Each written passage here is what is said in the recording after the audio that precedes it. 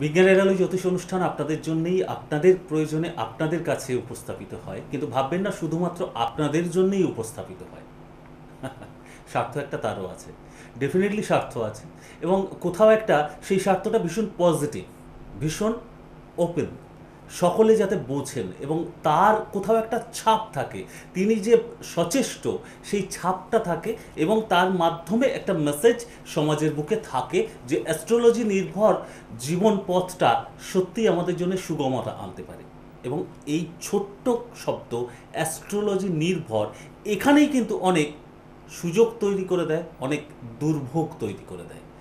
এই সমস্ত কিছুর পেছনে কিছু এক্স ফ্যাক্টর লুকিয়ে থাকে, আর সেটা বিজ্ঞানের আলো জ্যোতিষ অনুষ্ঠানে যদি ব্যাখ্যায়িত হয় কিছু ছোঁয়া আমরা পেয়েছি। আজকের এপিসোডে যদি আরেকটু বেশি করে পাওয়া যায়, তাহলে বোধহয় একটু বেশিই ভালো হয়, তাই না? যাই হোক, দেশ বিদেশের বিভিন্ন প্রতিষ্ঠান, বিভিন্ন ব্যক্তিত্ব, স্বনামধন্য ব্যক্তিত্বদের কাছ থেকে এইভাবে স্বীকৃত হতে যে মানুষটিকে আমরা দেখছি, তার পন্থাটাও তো সাথে সাথে স্বীকৃত হচ্ছে, তার ভূমিকাটাও স্বীকৃত হচ্ছে, এটাও তো আমরা খুব সহজে বুঝতে পারছি। তো সেই মানুষটিকে নিয়েই আমাদের পথ চলা, তার ভূমিকা নিয়ে পথ চলা সবচেয়ে বলা ভালো। বিজ্ঞানের জ্যোতিষ অনুষ্ঠান এইভাবেই সমৃদ্ধ হয়। প্রফেসর ডক্টর বাসু, যিনি একাধারে একটা নামজাদা ইঞ্জিনিয়ারিং প্রতিষ্ঠান কম্পিউটার সায়েন্সের সিনিয়র ফ্যাকাল্টি ইঞ্জিনিয়ারিং ডিপার্টমেন্টের তার পাশাপাশি এই অ্যাস্ট্রোলজি নিয়ে কাজ করে চলেছেন। কীভাবে? দুটোর সংযোগটা কীভাবে হতে পারে? এবং তার প্রভাবটা কীভাবে এই অ্যাস্ট্রোলজি দুনিয়ায় পড়তে পারে? সমস্ত কিছু অ্যানালিসিস যুক্তিসঙ্গতভাবে আরও একবার খুঁজবো, কিন্তু মনটাকে খোলা রাখবেন, অনেক কিছু নিতে পারার, না নিতে পারার জায়গাটা হয়তো তৈরি হয়ে যেতে পারে। সেই আহ, লক্ষ্যে পৌঁছতে এবারে স্বাগত জানাই আমাদের প্রিয় স্যারকে প্রফেসর ডক্টর বাসুকে। Welcome sir hmm thank you এই বিজ্ঞানের আলো যদি অনুষ্ঠান আমি চেষ্টা করি যতটা সম্ভব শিক্ষামূলক করে রিপ্রেজেন্ট করার। কারণ এই জ্যোতিষশাস্ত্র অন্যান্য শাস্ত্রের মতন অনেক শেখার জায়গা আছে না তো প্রকৃতভাবে জ্যোতিষশাস্ত্রকে জানতে গেলে শিখতে গেলে ধৈর্য ধরে পড়াশোনা করতে হবে। পড়াশোনা করার সাথে সাথে যারা ঠিকঠাকভাবে জ্যোতিষশাস্ত্রকে বুঝতে পারে, বাকি ডিগ্রিগুলো অটোমেটিক্যালি চলে আসে। এই নয় যে আজকে ওয়েস্ট বেঙ্গলে কোনো ইউনিভার্সিটিকে ইউজিসি অ্যাপ্রুভাল দেয়নি জ্যোতিষশাস্ত্রতে, তার মানে এই নয় যে জ্যোতিষশাস্ত্র ইউজিসি অ্যাপ্রুভ নয়। সুপ্রিম কোর্টের রায় অনুযায়ী বহু বছর আগে জ্যোতিষশাস্ত্রকে ইউজিসি অ্যাপ্রুভাল দিয়েছে এবং আজকে ভারতবর্ষে ছটা ইউনিভার্সিটি আছে, যারা ইউজিসি অ্যাপ্রুভ ডিপার্টমেন্ট জ্যোতিষশাস্ত্রকে রেখেছে। যারা জানেন ইন্টারনেটে সার্চ করলেই জানতে পারবেন। তো সেসব জায়গা থেকে ডিগ্রিগুলো অটোমেটিক্যালি চলে আসে যারা প্রকৃতভাবে জ্যোতিষশাস্ত্রকে জানতে পারে। তো আমি মনে করি, আমার ধারণা জ্যোতিষশাস্ত্র জানতে গেলে যে মিনিমাম একটা সায়েন্স ব্যাকগ্রাউন্ড থাকলে ভালো হয়। অ্যাটলিস্ট হায়ার সেকেন্ডারি অবধি কেন এই কথাটা বলছে এবারে লজিক্যালি আসতে চাইব। অ্যাস্ট্রোলজি কি? অ্যাস্ট্রোলজি শেখার জন্য এই মিনিমাম এডুকেশনটা কেন প্রয়োজন? একজন এডুকেটেড অ্যাস্ট্রোলজার সবচেয়ে ভালো বিচারের জায়গায় পৌঁছতে পারেন। এই কথাটা কেন বারে বারে উঠে আসে? হ্যাঁ কারণ বিচার বিবেচনা জ্যোতিষশাস্ত্র নিয়ে কারোর হরোস্কোপ রিডিং তার সেটার বাইরে তার আগে যে প্রিরিকুইজিট হচ্ছে যে প্রিরিকুইজিট নলেজ থাকতে হবে যার জন্য জ্যোতিষশাস্ত্রকে বোঝা যাবে। আজকে আমি সফটওয়্যারে কারোর date of birth time place দিচ্ছি, সঙ্গে সঙ্গে আমি চার্টগুলো বেরিয়ে আসছে। এখানে যে অ্যানালিসিস করা থাকে সেগুলো জেনারেল তাতে সেটা স্পেসিফিক্যালি কখনোই নয়। অ্যানালিসিস করতে হয় প্রত্যেককে নিজের মতো করে। এবং অনেকগুলো ফ্যাক্টর থাকে যেটা কিনা জেনারেল কোনো প্রোগ্রামেতে ইনকর্পোরেট করা যায় না। প্রোগ্রাম মানে সফটওয়্যারে আমরা যা ক্যালকুলেশন করে থাকি সেগুলো সফট প্রোগ্রামে ফিড করা আছে, সেই অনুযায়ী আমরা আউটপুট পাই। অ্যাজ ইনপুট আমরা date of birth time place দিয়ে থাকি। এখন প্রশ্ন হচ্ছে যখন ছিল না আজ থেকে ধরুন কুড়ি তিরিশ বছর আগে তখন অনেক সময় লাগতো প্রায় তিন চার দিন সময় লাগতো একটা কুষ্টি করতে। তার কারণটা কি? তার কারণ একটা ডি ওয়ান করতে গেলে যে লগ্ন ক্যালকুলেশন করতে গেলেও তিন চার পাতা অঙ্ক করতে হতো। তার জন্য লগারিদম জানা দরকার হয় লগ টেবিল জানতে হয়। আমরা যে এফিমেরিস যে থেকে অ্যাসেন্ডেন্ট বার করি তো সেই সব জায়গা থেকে আমাদের বেশ কিছু স্টেপ আছে। সেখানে জানতে, সেখানে জিওগ্রাফিক্যাল যে ম্যাথামেটিক্স সেটাও জানতে হয়। সিডারাল টাইম কারেকশনসটা কি সেটা জানতে হয়। তো এই জিনিসগুলো থেকে আমাদের একটা ধারণা করে জিওগ্রাফি অ্যান্ড ম্যাথামেটিক্স তারপর ধারণা থাকলে তবে আমরা অ্যাসেন্ডেন্ট ক্যালকুলেট করতে পারি। যারা ডিপ্লোমাও করেন কোনো ভালো ইনস্টিটিউট থেকে তারা দেখবেন এই সাবজেক্টগুলো টাচ করে বেরিয়ে যাওয়া হয়। এক নম্বর, দু নম্বর আমি মনে করি নিজের মতো করে যে জ্যোতিষশাস্ত্র শুধু এইখানে শুধু ম্যাথামেটিক্স অ্যান্ড জিওগ্রাফির উপর নয় এখানে ফিজিক্স আছে কেমিস্ট্রি আছে বায়োলজি আছে। তার কারণ হচ্ছে, আমি বলেছি ফিজিক্স যদি বলেন, তাহলে আমরা জ্যোতিষশাস্ত্র থেকে যা পাই কারও একজন সম্বন্ধে প্রেডিকশান করলাম, ফলাদেশ করলাম, তার ফিউচার প্রেডিকশন তার প্রেজেন্ট টাইম কেমন যাবে, তার পাস্ট টাইম কি গেছে এভরিথিং মিলে গেলে তবে আমি বুঝব যে আমি ঠিকঠাক বিচার করতে পারছি। কিচ্ছু না, শুধু date of birth time and place যাদের আছে তারা দেবেন, বাকি কিচ্ছু বলতে হবে না। তাহলে জীবনের যে মেন ইভেন্টগুলো দ্বাদশ ভাব ছাড়াও যে মেন ইভেন্টগুলো আমার জন্ম থেকে শরীর স্বাস্থ্য থেকে আরম্ভ করে আমার প্রপার্টি আমার বন্ধু ভাব, আমার পড়াশুনো up to Madhyamik up to masters তারপরে পিএইচডি পোস্টডক আমার কর্ম, আমার বিবাহ, আমার সন্তান, আমার আয়, আমার ব্যবসা ইত্যাদি এভরিথিং সব কিছু মেন ইভেন্টগুলো আমরা পরিষ্কার বলে দিতে পারি। সেখানে একজন জাজ করতে পারবে আপনি ঠিকঠাক লোক আসলে জায়গায় পৌঁছেছেন পৌঁছেছেন কিনা। আপনাকে কিছু বলতে হবে না। যদি কেউ জিজ্ঞেস করে যে বলুন আপনি কি সমস্যা নিয়ে এসছেন? আপনি বলবেন না। Let him speak let the astrologer speak about you আপনি বলবেন না। বাকি সব তারা বলতে পারবে। তাদের বলা উচিত। যারা অনেক কিছু তত্ত্ব কথা বলেন আলটিমেট জায়গায় তো ফেলিওর হয়ে যায় অনেক সময় দেখি। তারা প্রেডিকশন রং হয়ে যায়। যদি প্রেডিকশনই রং হয়ে গেল তাহলে আর আমি বিচার করে কি করলাম? খুব ইম্পর্টেন্ট এইখানে আমি যেটা শেষ করে নিই শেষ করে সুব্রত বাবু যে এখানে আমি বলছিলাম যে ফিজিক্স কীভাবে ইনভলভড আফটার প্রেডিকশন আলটিমেট আছে আমার তার তার রেমেডি প্রতিকার। সেই প্রতিকার জানতে গেলে জেমোলজি আমরা যদি জেমোলজিক্যাল রেমেডি কথা বলি যেটা কিনা আমরা জ্যোতিষশাস্ত্র যার উপরে মেনলি ডিপেন্ডেন্ট জেমোলজিক্যাল রেমেডি এই জেমস্টোন এই জেমস্টোনের বিভিন্ন ক্যাটাগরি জানতে হবে। এই জেমস্টোন বেসিক্যালি কোন কোন কী কী এর মধ্যে ফিচার্স আছে জানতে হবে। আমি বলি একটা জেমস্টোন বলতে পাঁচটা ফিজিক্যাল মেনলি প্রপার্টিস থাকে যেটা আমরা ল্যাব রিপোর্ট আমি দিয়ে যেটা আপনারা দেখে থাকেন কোন একটা স্টোন নেওয়ার সময় তার যে ল্যাবের যে রিপোর্টটা সেটা থাকে। কি সেখানে কী কী থাকে? Specific gravity refractive index hardness transparency colour এইগুলো ফিজিক্যাল প্রপার্টি এবার যদি কেমিস্ট্রি বলেন, তাহলে কেমিক্যাল কম্পোজিশনসটা কী? এই যে আজকে পলা ক্যালসিয়াম কার্বনেট আমি পোকরাজ বলুন বা এগুলো বিভিন্ন কার্ব আপনি ডায়মন্ড বলুন কার্বন কার্বনের বন্ডিং বিভিন্ন রকম। সেখানে ইম্পিউরিটিস অনুযায়ী ডায়মন্ডের ঔজ্জ্বলতা বোঝা যায়। কতটা লাস্টার সেটা বোঝা যায়, তার নাইট্রোজেনের কতটা ইম্পিউরিটিস আছে। একটু কিছু কিছু ডায়মন্ড হলুদ কালারের একটুখানি সেটার দাম একটু কম, সেখানে নাইট্রোজেনের ইম্পিউরিটি বেশি আছে। একটু কম থাকলে বেশি ব্রাইটনেস হয়। তো এই সমস্তগুলো জানার জন্য আমরা কেমিস্ট্রির উপর নলেজ থাকা দরকার। আর যদি বায়োলজি বলেন জেমস্টোন কীভাবে কাজ করে সেটা বহুবার বলেছি। আমি জেমস্টোন জেনারেলি প্রাইমারি পড়তে বলি বাজুতে আপার আর্মে তার কারণটা কি? তার কারণ আমাদের এই এলবোর উপরে মেন তিনটে নার্ভ আছে radial median ulnar this three nerves get converge into a single nerve call brachial plexus near scapular muscle সেই ব্র্যাকিয়াল প্লেক্সাস নার্ভটা আমাদের সিদ্ধারা বা স্পাইনের C five C six C seven cervical disc হয়ে সেন্ট্রাল নার্ভাস সিস্টেমে reach করে cerebral cortex হয়ে, যেটা কিনা মেডুলা লঙ্গাটা পাশে থাকে।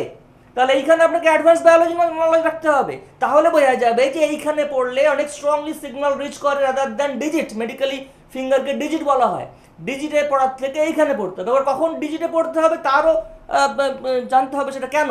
যদি রিফ্র্যাক্টিভ ইন্ডেক্স ভ্যারি করে একই ক্যাটাগরি স্টোনে যদি দু পিস নিতে হয়, বেশি রতি নিতে হয়, যদি রিফ্র্যাক্টিভ ইন্ডেক্স ভ্যারি করে তাহলে একটা এখানে একটা এখানে। এই সমস্তগুলো জানতে হবে, বুঝতে হবে। এর জন্য সায়েন্স ব্যাকগ্রাউন্ড থাকা দরকার। যদি কারণ না থাকে, তাহলে সেই জায়গাটা তৈরি করে নিতে হবে, পড়াশোনা করতে হবে। রাতের পর রাত জেগে পড়াশোনা করেছি।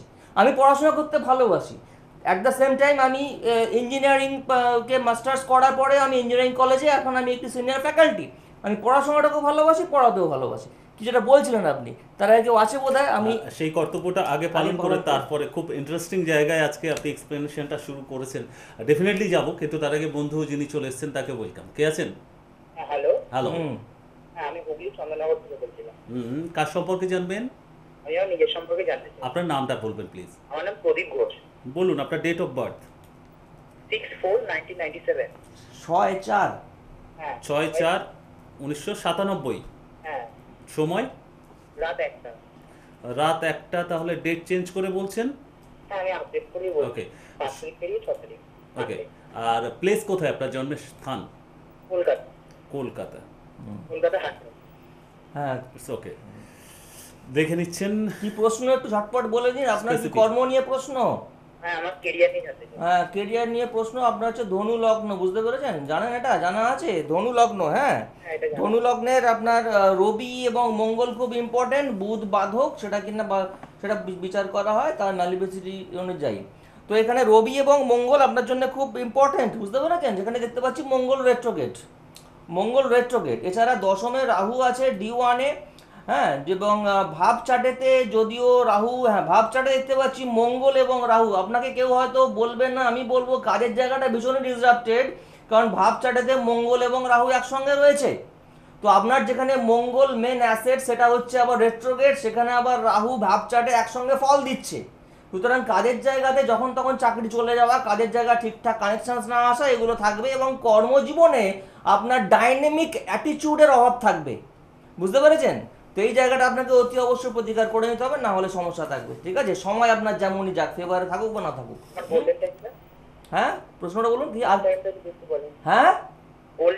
Golden golden time actually golden time আমরা বলি ডিএপি অনুযায়ী দেখতে পাবো কিন্তু গোল্ডেন টাইমটা আপনার জন্য গোল্ডেন হবে না। গোল্ডেন হবে না। গোল্ডেন টাইম সবাই জীবনে পায় কিন্তু সবাই তো এটা গোল্ডে কনভার্ট করতে পারে না মানে ইন ট্রু সেন্স তার কারণ আপনার চার্টে সেই সমস্যাগুলো রয়েছে। তবুও আমি আপনার ডিএপি যদি দেখে নিই সেই ডিএপি অনুযায়ী আমি দেখতে পাচ্ছি আপনার ক্ষেত্রে এখন চলছে আঠারো শনি বৃহস্পতি, বুঝতে পেরেছেন? সুতরাং আপনার ক্ষেত্রে সময়টা এখন খুব একটা ভালো নয়। যখন দেরি আছে আপনার ক্ষেত্রে আপনার ক্ষেত্রে গোল্ডেন টাইম যদি বলেন, দেরি আছে। আর দু হাজার চোদ্দ থেকে পনেরো একটা গোল্ডেন টাইম বলব না, একটু ভালো ছিল সাপ সেটাই মঙ্গলকে পেয়েছে, কিন্তু কাজ করতে পারেনি, যেহেতু এই মঙ্গল রেট্রোকে। সুতরাং দেরি আছে, বুঝতে পেরেছেন? গোল্ডেন টাইম আপনার দেরি আছে এখন দু হাজার উনত্রিশের পর হ্যাঁ? দু হাজার উনত্রিশের পর। হুম সাথে থাকুন আহ, আমরা আবার একটু আলোচনায় কানেক্ট করি। সেটা ইম্পর্টেন্ট একটা জায়গায় আমরা থেমেছিলাম। কিন্তু আমি অন্যদিকে একটু নিয়ে যেতে চাইছি। এডুকেশনের কথা বলছিলেন আহ, সেখানে তো এটা বলা ডেফিনেটলি যায় যে পুঁথিগত এডুকেশন বিদ্যাটাই শেষ কথা বলে না। সেটা যেমন ঠিক ঠিক তেমনই আমরা বিজ্ঞানের আলোয় আপনি ব্যাখ্যাটা করছিলেন। বিজ্ঞানের আলোয় যখন টেকনিক্যালি আপনি ব্যাখ্যাটা করলেন রেমেডি কীভাবে কাজ করছে সেই জায়গায় সমস্ত কিছু ঠিক আছে। কিন্তু এখানে একটা ক্লারিফাই করা একান্ত দরকার। আমরা এটাও শুনি যে এক একটা প্ল্যানেট তার এক এক দেবদেবী আছে। তাহলে এই স্পিরিচুয়াল ক্ষেত্রের সঙ্গে আমাদের অ্যাস্ট্রোলজিক্যাল ওয়েটা কীভাবে সিনক্রোনাইজ করছে? দেখুন এটা বলতে গেলে আমার এক ঘণ্টা লাগবে লেকচার দিতে। তবু আমি বলি বোঝানোর জন্য। তবু আমি ছোট করে বলছি. নাট সেল এই যে মঙ্গল বৃহস্পতি বলি আপনার চার্টে তারা কি এখানে এসে আপনার চার্টে বসে পড়েছে? তা তো নয়। হুম। মঙ্গল বলতে আমরা যে কোনো জিনিস বসতে যদি বলি তার কিছু ফিচার্স হুম। তাহলে মঙ্গলের মঙ্গল প্ল্যানেটের নিজস্ব কিছু ফিচার্স আছে। সে কালার থেকে আরম্ভ করে এভরিথিং তার কি নেচার তার কি চরিত্র? বৃহস্পতি একরকম চরিত্র শনির আর রকম চরিত্র। এই যে ফিচার্সগুলো আমাদের এক একটা জায়গায় ডিপেন্ড করে আমরা তখন বলি কারোর চার্টেতে এইখানে মঙ্গল আছে মানে সেই ফিচার্সগুলো সেখানে থাকবে ঘটবে। বর্তমান। এবং সেই ফিচার্স তার জন্য কতটা সাপোর্টিভ হবে না নন সাপোর্টিভ হবে সেটা ডিপেন্ড করছে সেই পার্টিকুলার পার্সনটার নেচারের উপরে। সেই নেচারটা ডিপেন্ড করছে যে কোন মুহূর্তে জন্মালো তার জিওগ্রাফিক্যাল প্লেস স্থানকাল পাত্রভেদে। আজকে বাই ডিফল্ট আজকে ফার্স্ট ওয়ার্ল্ড ওয়ার্ল্ড কান্ট্রিরা ইউরোপিয়ান কান্ট্রির লোকজন আমাদের থেকে পার ক্যাপিটা ইনকাম অনেক বেশি। হুম। তাহলে সেটা জিওগ্রাফিক্যাল প্লেসের উপর ডিপেন্ড করছে। তো অটোমেটিক্যালি সেখানে তাদের চাটেতে আমাদের ইন কম্প্যারিজন টু আস তারা অনেকটা এগিয়ে আছে। তো সেইখানে আমরা বেসিক্যালি ফিচার্সগুলো দেখি। সেই ফিচার্সগুলো দেখে আমরা বলে থাকি। এবং তার ফলে যে আমাদের জন্য যে প্রভাব পড়ে সেই ফিচার্সগুলোর ম্যালিফিক বা কোনটা বেনিফিক সেই অনুযায়ী আমাদের একটা আমরা ম্যাপ করতে পারি একটা প্ল্যানিং করতে পারি যে আমাদের এই জিনিসগুলো ঘটবে এই জিনিসগুলো ঘটবে না এই জিনিসগুলো প্রবলেম আছে এই জিনিসগুলো প্রবলেম নেই।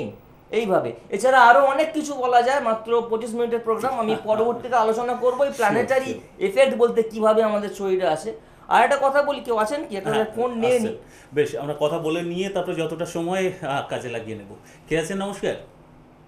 হ্যালো হ্যালো হ্যাঁ please। বলুন চটপট একটু বলুন। নমস্কার। হ্যাঁ নমস্কার। কে থেকে বলছি? হুম, কার সম্পর্কে জানবেন? আমার ছেলের সম্পর্কে জানতে।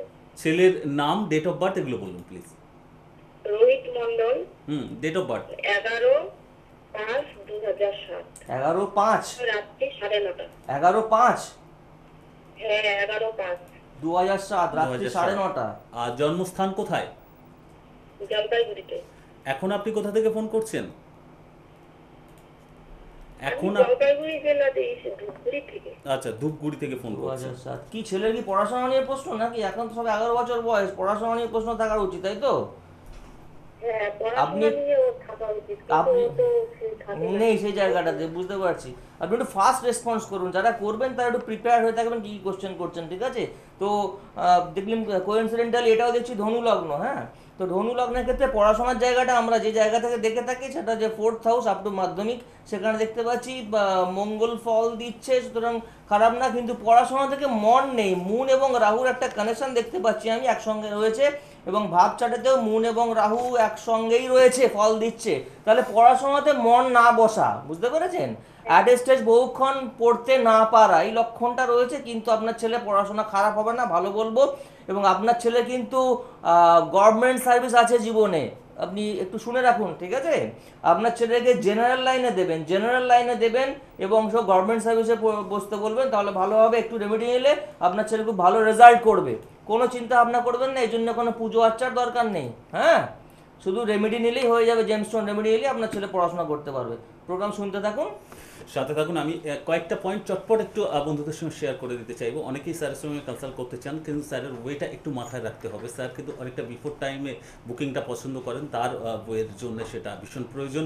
এবং অনলাইনে সেটা আপনি করুন বা সরাসরি এসে কনসাল্ট করুন।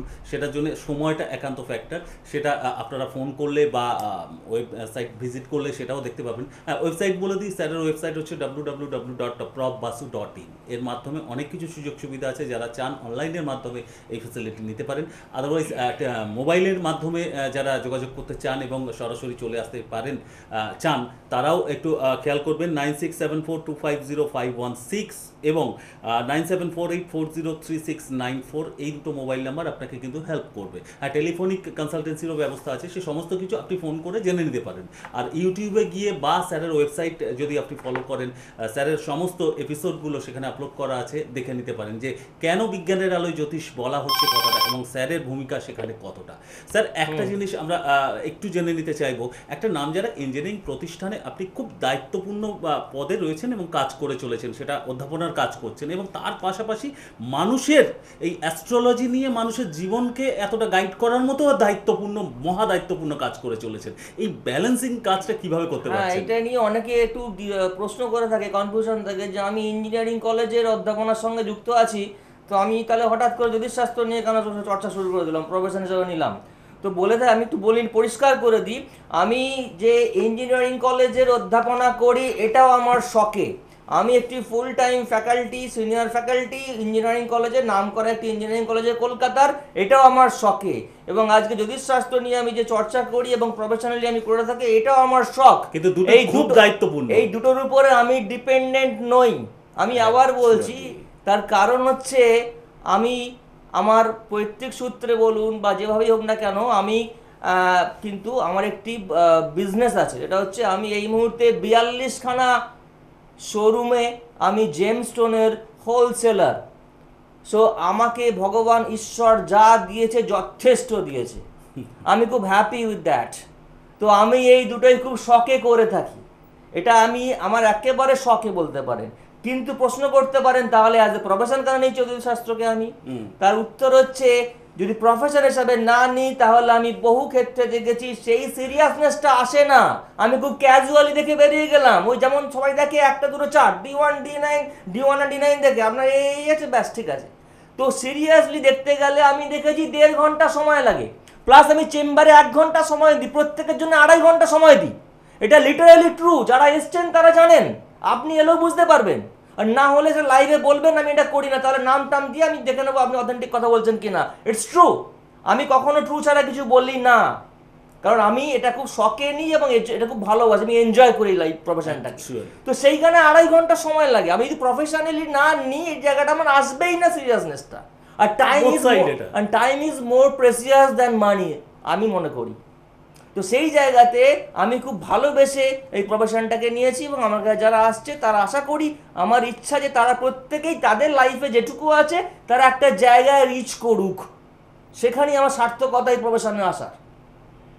তো অনবদ্য অনবদ্য মানে ভালোবাসাটা এই সেন্টিমেন্টাল জায়গাটা তার সঙ্গে আমি বলি তার সঙ্গে বলি আমি খুব হ্যাপি আমার ফ্যামিলি নিয়ে। আজকে আমার বাবা আমার তিনি নেই দেহেতে। তো তিনি ছাড়া আমি কিন্তু এই জায়গায় আসতে পারতাম না। তো তিনি আমার কাছে সব কিছু ছিলেন। আমার প্রত্যেকটা মুহূর্তে ইন্সপিরেশনে ছিলেন। আমি যখন রাতের পর রাত জেগে পড়াশোনা করেছি, তিনি আমার সঙ্গে ছিলেন। আমার মা, আমার বাবা, মা, আমার দিদিরা, আমার ওয়াইফ সবাই সবাই না থাকলে আমি এই জায়গাটা যেতে পারতাম মনে করি একজন সাকসেসফুল পার্সন সে সাকসেসফুল হতে পারবে জীবনে, তার ফ্যামিলি সাপোর্ট থাকলে। তো ফ্যামিলি সাপোর্ট ছাড়া জীবনে কিন্তু কিছু করা খুব মুশকিল। সাধারণ থেকে একটু জায়গায় যাও রিচ করা একটু মুশকিল। তো আমি আমার তাদের কাছে কৃতজ্ঞ। আমি চিরকৃতজ্ঞ থাকব ততদিন বেঁচে থাকব। আর সেই প্রভাবটা বোধ হয় আমাদের মতো সাধারণ মানুষরা যাদের জন্য আপনি কাজটা করছেন তারা উপকৃত হচ্ছেন। তাদের ওপরে সবচেয়ে প্রভাবটা পড়ছে। সেই ডেডিকেশন সেই ভালোবাসা সেই কর্তব্যশীলতা সমস্ত কিছু মিলেমিশে তাদের জন্য প্রপার কাজটা করতে পারছেন। এটা তাদের বিশ্বাস শুধু না এটা একদম প্র্যাকটিক্যাল তারা ফিডব্যাক সবাইকে বলি যারা যারা আমার কাছে এসছে আমার ক্লায়েন্টরা আমি বলি please try to get connected with me আমার সঙ্গে সম্পর্ক রাখবেন so long I'll be life যতদিন বাঁচবো। সেটা দেশের এবং বিদেশের সমস্ত ক্লায়েন্টকে আমি বলি। তারা যখনই কোনো রকম প্রবলেম হয়, বিভিন্ন সময়তে এক দেড় বছর পরেও আমাকে ফোন করে যারা বিদেশে প্রচুর আমার ক্লায়েন্ট আছে বেশিরভাগ সময় রাত্রি তিনটে অবধি আমার অন ফোন সার্ভিস থাকে। যারা আসতে পারে না। কারণ আমি তো কলকাতা ছাড়া অন্য কোথাও চেম্বার করতে পারি না যেহেতু আমি কলকাতারই একটি ইঞ্জিনিয়ারিং কলেজে আমার এটাও কিন্তু একটা প্রশ্ন আছে হ্যাঁ, যে হ্যাঁ। বিভিন্ন জায়গায় ইভেন মানে অ্যাটলিস্ট বাংলার মধ্যে বিভিন্ন জায়গায় কেন আপনাকে পাওয়া যায় না? এটাও কিন্তু ওটাই আর কি খুব প্লেন অ্যান্ড সিম্পল যে আমি সপ্তাহে পাঁচ দিন সোম থেকে শুক্র কলেজে থাকি। আর যেহেতু ওটাও আমি এনজয় করি ওটাকে আমি ছাড়তে পারব না। আর আমি বাকি দুদিন আমি কলকাতায় চেম্বার করতে পারি। যারা আসতে পারেন না, তারা বহু প্রত্যেক দিন আমার প্রায় বহু থাকে অ্যাপয়েন্টমেন্ট থাকে অন ফোন সেটা USA Australia Canada UAE Bangladesh France সব জায়গা থেকে, সব জায়গা থেকে আসে। ইনফ্যাক্ট আমি রেমেডিও পাঠিয়ে দিই কারণ আমি মনে করি রেমেডির জায়গাটা কবিরাজের মতন। কবিরাজরা আগেকার দিনে নিজের ওষুধ নিয়ে তৈরি করতো।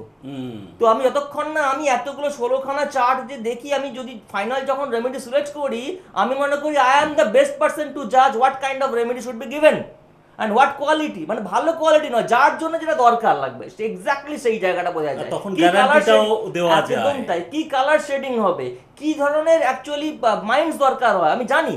সেই জায়গা থেকে আমি তখন যখন দিই তখন আমি গ্যারান্টি দিতে পারি। যে না হলে I will be the sole responsible for that ওই সময়ের মধ্যে যদি কাজ না হয় তাহলে আমি ফুল রিফান্ড করব। এটা আমি বলতে পারি। আর তারই স্বীকৃতি বোধ হয় বিভিন্ন প্রতিষ্ঠানের মতো আইএসওর মতো হ্যাঁ, মান্যতা প্রাপ্ত প্রতিষ্ঠান একটা fortunate I got that certificate এটা একটা ইন্টারন্যাশনাল বলতে পারি recognition ISO nine thousand two thousand fifteen definitely তো সেই জায়গায় আমি একদম প্রোগ্রামের অনুষ্ঠানের শেষে চলে এসেছি। বন্ধুদের উদ্দেশ্যেও এই ঘোষণাটা থাকবে এবং আপনার কাছেও একদম সেই জায়গাটা আমি ছোট্ট করে জেনে নিতে চাইব যে একজন গুড অ্যাস্ট্রোলজার হওয়ার জন্যে কি কি গুণাবলী তাহলে থাকা প্রয়োজন? আপনারাও আমাদের সঙ্গে শেয়ার করতে পারেন। আর স্যারের পয়েন্ট অফ ভিউ থেকে, স্যারের অবজারভেশনের দিক থেকে, তার ব্যক্তিগত মতামতটা জেনে নেব। দেখুন অনেস্টি তো যে কোনো প্রফেশনে থাকা দরকার যে কোনো প্রফেশনে কিন্তু অ্যাস্ট্রোলজির ক্ষেত্রে যেহেতু সায়েন্সের সমস্ত ফিল্ডগুলো জড়িয়ে আছে, তার জন্য তার একটা প্রিরিকুইজিট নলেজ থাকা দরকার। না হলে তৈরি করে নিতে হবে, না থাকলে। তবে অ্যাস্ট্রোলজি শিখলে আপনি মানে আপনার ডেপটা থাকবে, তবে আপনি কনফিডেন্ট হবেন। তবেই আপনি বলতে পারবেন, আমি যা বলব সেটা হতে পারে বা হতে পারে না না, হবেই। It's digital yes or no not analog computer সায়েন্সের ভাষা আমরা বলি ওকে ওকে একদম শেষ প্রান্তে আমরা পৌঁছে গেছি। স্যারের এই কনফিডেন্সটাই আমাদের কোথাও একটা নতুনভাবে উদ্দীপনা জায়গায় নতুনভাবে ভরসাটা তৈরি করতে পারে যে হ্যাঁ একজন এডুকেটেড অ্যাস্ট্রোলজার এতটা কনফিডেন্সের সঙ্গে প্রপারলি বলতে পারেন এবং যার জন্য মানুষ ভরসা করতে পারেন। কারণ তাদের জীবনটা ছেলে খেলা নয় আর জীবন নিয়ে কেউ ছেলে খেলা করুক তারা সেটা চাইবেন না। এবং অ্যাস্ট্রোলজি কখনো ছেলে খেলার পারমিশন দেয় না। সেই জায়গায় একজন এডুকেটেড অ্যাস্ট্রোলজার রূপে স্যারের কথা বলাই বাহুল্য। আমাদের এই অনুষ্ঠান চলতে থাকবে বিজ্ঞানের আলোয় জ্যোতিষ অনুষ্ঠান। আপনাদের জন্য যেমন, আমাদের জন্য বেসিক্যালি স্যারের জন্যও, সেই ভাবনাটা শেয়ার করার জন্য এটা চলতে থাকবে। সাথে থাকবেন, এইটুকু বিশ্বাস নিয়ে আজকে বিদায় নেব, কারণ সময় শেষ। নমস্কার। ভালো নমস্কার।